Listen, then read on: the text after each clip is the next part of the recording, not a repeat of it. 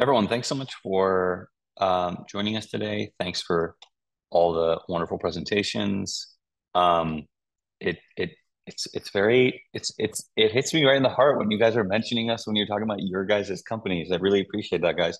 I think um, to any any uh, brands partners listening, um, you've got the dream team presenting to you today. Like pretty much everything is covered from things that you ship to um, everything related to your brand, at which you, are potentially not shipping, right? Uh, as as Mehdi was mentioning on his end, um, focusing on the customer and everything has come full circle now uh, back to packaging.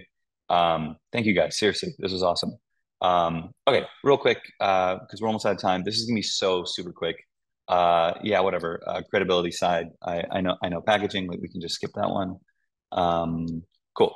Uh, Stephen Miller at um, Sourcify already already mentioned this one uh, when he was talking about uh, optimizing packaging to reduce shipping costs. I think that's super important right now.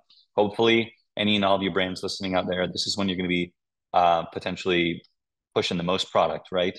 And the more product you push, hopefully, the more money you make, but also the, the greater the shipping costs in a given period of time. Um, and so, if you want to save the most that you could ever save in the time that you're going to be making the most that you're ever going to make. It's now. So make sure that everything that's going out the door has been optimized from a product to parcel standpoint. If you look at this on a 3PL standpoint, for example, like a ShipBob, um, the stats that we have out there is that for every $100 a ShipBob makes, $12 goes into parcel and shipping of parcel. Um, so that's a big chunk of what's getting sent out the door inventory not even included. So creating savings here is going to be so critical for you as a brand that already has, uh, you know, the the the margins that you guys need to clutch onto for dear life. And something like this can make such a huge difference, as um, the Sourcify team clearly illustrated. Um, another thing that I'm sure your 3PL will be happy to stock for you during this time, um, if you're working with like a ship ShipBob, send them some extra boxes this time of year. Uh, who knows what's going to happen if they're going to, if you are going to run out of the boxes that you sent to them, and they're going to have to play uh, fire drill to be able to tell you, hey, you're out. Uh, you didn't send us enough boxes, and then you need to communicate with your packaging provider, someone like us. Uh, and, and yeah, I don't, I don't think we did like the quick intro on us. We we make it as easy to design and order boxes online as you would design and order a business card. Uh, we can also run an analysis on your uh, product and packages, we can connect to your uh, WMS and 3PL like a ShipBob, uh, run analysis, run an analysis on the SKUs that you have them responsible for shipping on your behalf, and make suggestions on packaging sizes. But uh, back to this, um, creating a fire drill uh, for your 3PL is going to create negative rippling effects throughout the rest of your supply chain, and it can start with something as simple as uh, packaging stock out, like 15 to 25% of SLAs that are missed are because of a packaging stock out. Um, thankfully, companies like ShipBob do have stock packages that uh, may be unbranded that they can still put your product in and get it out the door because they know how important it is for your brand to be able to please your customers to surprise and delight them going into peak season. But um, running out on their end means they have to contact you, means you have to contact us, means we're gonna have to charge you an arm and leg to to like rush order this. And actually, there used to be an additional tip on this, and that additional tip was get your packaging like right now. Get it yesterday. Get it last month uh, because everything is getting backed up right now. So if you're on that naughty list that hasn't already bought boxes for peak season or poly bags for peak season or branded tissue paper or branded tape, whatever it might be, please do it right now.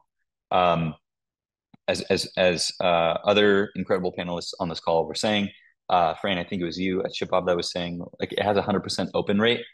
Um, and then uh, folks like Dane and Stephen were talking about like the the added value cost of what branded packaging can provide.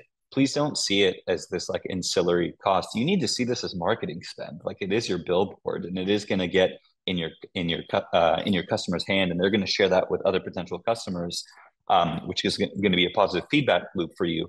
And as uh, Mehdi was saying with Social Snowball, this is like your customers are your biggest advocates. They're going to go out there um, and they're going to put the word out, whether you did a good job or bad.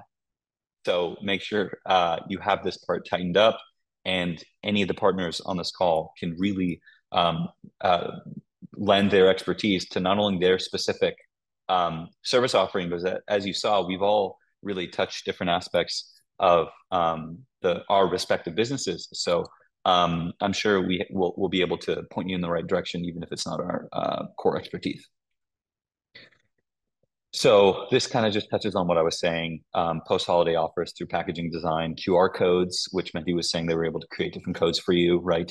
Uh, leveraging branded packaging and accessories, uh, tape tissue stickers, focus on profitability through repeat business and lifetime value, not just on first order margins, guys. Like you might see it as expensive when um, you know your your average order value of a customer may not be exceeded by the custom branded packaging of that first time order, but aren't we in this for the long run? Like the first, the, the first and most important thing about growth is retention, right? So this is when this is when we make friends. This is when we this is when we make friends and get married with our customers, right? Like it's it's now. Um, of course, those opportunities come throughout the remainder of the year and the years to follow. But this is such a crucial time, which is why uh, this fun tongue twister of an alliteration for protect your profits, this profits, this peak season is so important. Um, and so for that, we would like to uh, give you two hundred dollars off your order of a thousand bucks or more. Again, that's uh, profit two hundred when checking out. Uh, also, be sure to click that EcoCart uh, box when you're checking out on Arka as well, uh, so that we can provide some carbon capture um, uh, goodies for you at the end to make sure that you're also doing your part from a sustainability standpoint which we've been super proud to partner up with the folks at EcoCart to be able to um, leverage that capability for all purchases through Arka. But again, profit 200, you'll get 200 bucks off of an order of a thousand bucks or more. This expires Friday. This expires Friday. And this is really just like a forcing function for you to get your packaging ordered now, even if you think you don't need it now. If you don't think you need those extras, just order it now. Okay. You can use it and recycle it um, in next year's orders that come through as uh, as a uh, as an extra branded bonus, as we mentioned in one of the other slides, where you can leverage that as a fun way to be able to get your customers' attention, even if you don't end up using it now. You'll use it later. You'll use it eventually, unless you're literally sunsetting a product. But as mentioned in previous slides, products that might have been sunsetted previously are a great add-on as like a sampler for um, customers to be introduced into the service offerings that you have in the future. Um, so please reach out, support at arka.com. And uh, I'm sure we'll be sending out um, the respective contact info of everyone um, after this as well so that you can get in touch with us. I um, am so proud of this team for everyone getting this together and presenting. This was Kyla's first presentation of, of a webinar. So good job, Kyla, for putting this together as well and getting everybody introduced. Um, great job. You got some great people for, for a first time uh, presentation. I'll stop sharing